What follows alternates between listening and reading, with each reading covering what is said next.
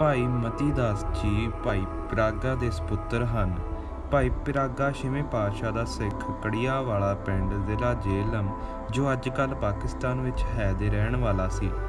ਭਾਈ ਪਿਰਾਗਾ ਦੇ ਚਾਰ ਸਪੁੱਤਰ ਸਨ। ਭਾਈ ਮਤੀ ਦਾਸ, ਸਤੀ ਦਾਸ, ਜਤੀ ਦਾਸ ਤੇ ਸਖੀ ਦਾਸ। ਭਾਈ ਮਤੀ ਦਾਸ ਜੀ ਨੂੰ ਗੁਰ ਸਤਿਗੁਰੂ ਗੁਰੂ ਤੇਗ ਬਹਾਦਰ ਸਾਹਿਬ ਜੀ ਨੇ ਆਪਣਾ ਦੀਵਾਨ ਥਾਪਿਆ ਸੀ। ਭਾਈ ਮਤੀ ਦਾਸ ਤੇ ਸਤੀ ਦਾਸ ਦੀ ਕੁਰਬਾਨੀ ਗੁਰੂ ਸਾਹਿਬ ਜੀ ਦੇ ਨਾਲ ਦਿੱਲੀ ਵਿਖੇ ਹੋਈ। ਜਦੋਂ ਗੁਰੂ ਸਾਹਿਬ ਜੀ ਲੋਹੇ ਦੇ ਪਿੰਜਰੇ ਵਿੱਚ ਕੈਦ ਸਨ, ਤਾਂ ਭਾਈ ਮਤੀ ਦਾਸ ਜੀ ਨੂੰ ਕਾਜ਼ੀ ਨੇ ਆਖਿਆ, ਸਿੱਖੀ ਛੱਡ ਦੇ, ਮੁਸਲਮਾਨ ਹੋ ਜਾਓ, ਤੁਹਾਨੂੰ ਬਹੁਤ ਸੁੱਖ ਦਿੱਤੇ ਜਾਣਗੇ। ਪਰੰਤੂ ਭਾਈ ਜੀ ਨੇ ਸਾਰੇ ਦੁਨਿਆਵੀ ਸੁੱਖ ਤੇ ਲਾਲਚ ਠੁਕਰਾ ਦਿੱਤੇ ਤੇ ਕਿਹਾ, ਮੈਂ ਸਿੱਖੀ ਨਹੀਂ ਛੱਡ ਸਕਦਾ, ਭਾਵੇਂ ਮੇਰੀ ਜਾਨ ਵੀ ਚਲੀ ਜਾਵੇ। ਕਾਜ਼ੀ ਨੇ ਫਿਰ ਕਿਹਾ ਕਿ ਗੁਰੂ ਸਾਹਿਬ ਦਾ ਸਾਥ ਛੱਡ ਦਿਓ। ਭਾਈ ਸਾਹਿਬ ਨੇ ਕਿਹਾ, ਗੁਰੂ ਸਾਹਿਬ ਜੀ ਨੂੰ ਛੱਡ ਕੇ ਮੈਂ ਜ਼ਿੰਦਾ ਨਹੀਂ ਰਹਿ ਸਕਦਾ। ਮਰਨਾ ਤਾਂ ਹੈ ਹੀ ਹੈ, ਕਿਉਂ ਨਾ ਸਿੱਖੀ ਨਿਭਾ ਕੇ ਹੀ ਮਰਾਂ। ਸਰਕਾਰ ਨੇ ਕਾਜ਼ੀ ਤੋਂ ਆਰੇ ਨਾਲ ਚੀਰਨ ਦਾ ਫਤਵਾ ਦਵਾਇਆ, ਜਿਸ ਨੂੰ ਭਾਈ ਸਾਹਿਬ ਨੇ ਹੱਸ ਕੇ ਕਬੂਲ ਕੀਤਾ। ਜਦੋਂ ਜਲਾਦ ਆਰੇ ਨੂੰ ਤਿੱਖਾ ਕਰਨ ਲੱਗੇ ਤਾਂ ਭਾਈ ਸਾਹਿਬ ਨੇ ਕਿਹਾ ਕਿ ਤੁਸੀਂ ਆਪਣੇ ਆਰੇ ਨੂੰ ਤਿੱਖਾ ਕਰੋ, ਮੈਂ ਆਪਣੇ ਮਨ ਨੂੰ ਤਿੱਖਾ ਕਰਾਂਗਾ। ਜਲਾਦਾਂ ਨੇ ਪੁੱਛਿਆ ਕਿ ਅਸੀਂ ਤਾਂ ਰੇਤੀ ਨਾਲ ਆਰੇ ਨੂੰ ਤਿੱਖਾ ਕਰਾਂਗੇ। ਤੇਰੇ ਕੋਲ ਮਨ ਨੂੰ ਤਿੱਖਾ ਕਰਨ ਦਾ ਕੀ ਸਾਧਨ ਹੈ? ਤਾਂ ਭਾਈ ਸਾਹਿਬ ਨੇ ਉੱਤਰ ਦਿੱਤਾ ਕਿ ਮੇਰੇ ਕੋਲ ਗੁਰੂ ਨਾਨਕ ਦਾ ਬਖਸ਼ਿਆ ਜਪਜੀ ਸਾਹਿਬ ਦਾ ਪਾਠ ਹੈ।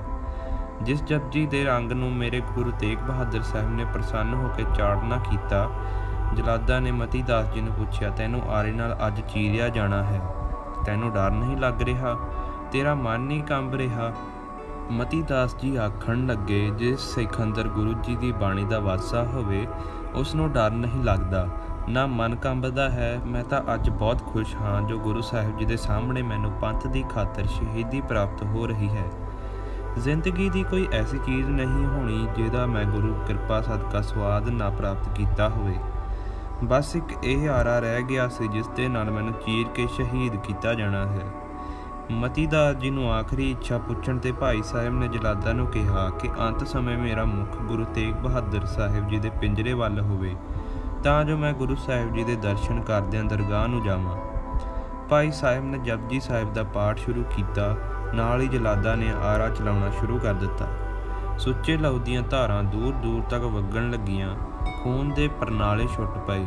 ਵੇਖਣ ਵਾਲੇ ਲੋਕ ਆਰਾ ਚਲਾਉਣ ਵਾਲਾ, ਜਲਾਦ ਫਤਵਾ ਦੇਣ ਵਾਲਾ ਕਾਜ਼ੀ ਕੰਬ ਉੱਠੇ। ਇਹ ਦੇਖ ਦੰਗ ਰਹਿ ਗਏ, ਪਰ ਭਾਈ ਸਾਹਿਬ ਜੀ ਨੂੰ ਜ਼ਰਾ ਵੀ ਘਬਰਾਹਟ ਨਹੀਂ ਸੀ। ਜਿਵੇਂ ਜਿਵੇਂ ਆਰਾ ਚੱਲ ਰਿਹਾ ਸੀ, ਚਿਹਰੇ ਤੇ ਜਲਾਲ ਵੱਧ ਰਿਹਾ ਸੀ। ਵੇਖਣ ਵਾਲਿਆਂ ਦੇ ਰੌਂਗਟੇ ਖੜੇ ਹੋ ਗਏ। ਇਸ ਤਰ੍ਹਾਂ ਦੀ ਸ਼ਹੀਦੀ ਉਹਨਾਂ ਪਹਿਲਾਂ ਕਦੇ ਨਹੀਂ ਸੀ ਦੇਖੀ। ਅਜੇ ਅਸੰਖ ਜੱਪ ਵਾਲੀ ਪੌੜੀ ਤੇ ਹੀ ਪਹੁੰਚੇ ਸਨ ਕਿ ਜਲਾਦਾ ਨੇ ਸਰੀਰ ਨੂੰ ਚੀਰ ਕੇ ਦੋ ਹਿੱਸਿਆਂ ਵਿੱਚ ਵੰਡ ਦਿੱਤਾ। ਭਾਈ ਸਾਹਿਬ ਜੀ ਦੀ ਜਲਾਦਾ ਨੂੰ ਹਦਾਇਤ ਸੀ ਕਿ ਚੀਰ ਬਿਲਕੁਲ ਸਿੱਧਾ ਹੋਵੇ। ਜੇ ਤੁਹਾਡੀ ਗਲਤੀ ਨਾਲ ਚੀਰ ਟੇਢਾ ਲੱਗ ਗਿਆ ਤਾਂ ਕਿਤੇ ਕੋਈ ਇਹ ਨਾ ਕਹੇ ਕਿ ਭਾਈ ਸਾਹਿਬ ਆਰੇ ਤੋਂ ਡਰਦਾ ਡੋਲ ਗਿਆ ਸੀ, ਜਦ ਕਿ ਮੈਂ ਡੋਲ ਖੜਾ ਹਾਂ। ਇਸ ਤੋਂ ਬਾਅਦ ਇੱਕ ਹੋਰ ਅਸਚਰਜ ਗੱਲ ਹੋਈ ਕਿ ਸਰੀਰ ਦੇ ਦੋ ਹਿੱਸੇ ਹੋਣ ਤੋਂ ਬਾਅਦ ਵੀ ਜਪਜੀ ਸਾਹਿਬ ਦੀ ਪਾਠ ਦੀ ਆਵਾਜ਼ ਬੰਦ ਨਹੀਂ ਹੋਈ। ਦੋ ਹਿੱਸਿਆਂ ਵਿੱਚੋਂ ਇੱਕ ਹੀ ਆਵਾਜ਼ ਆਉਂਦੀ ਰਹੀ, ਜੈਸਾ ਕਿ ਇੱਕ ਹਿੱਸਾ ਬੋਲਦਾ ਹੈ, ਅੰਤ ਨਾ ਸਿਫਤੀ, ਕਹਿਣ ਨਾ ਅੰਤ। ਦੂਜੇ ਹਿੱਸੇ ਵਿੱਚੋਂ ਆਵਾਜ਼ ਆਉਂਦੀ ਹੈ, ਅੰਤ ਨਾ ਕਰਨਾ ਦੇਨ ਨਾ ਅੰਤ। ਇਉਂ ਜਪਜੀ ਸਾਹਿਬ ਜੀ ਦਾ ਪਾਠ ਸੰਪੂਰਨ ਸਮਾਪਤ ਹੋਇਆ ਤੇ ਭਾਈ ਸਾਹਿਬ ਸ਼ਹੀਦ ਹੋ ਗਏ। ਦੁਨੀਆ ਦੇ ਇਤਿਹਾਸ ਤੇ ਭਾਈ ਸਾਹਿਬ ਜੀ ਦੀ ਸ਼ਹਾਦਤ ਬੇਮਿਸਾਲ ਹੈ। ਅਰੋਧ ਅਰਧ ਚਿਰਾਏ ਸੋ ਡਾਰਾ, ਪਰਿਓ ਪ੍ਰithvi ਪਰ ਹੋਇ ਦੋ ਫਾਰਾ।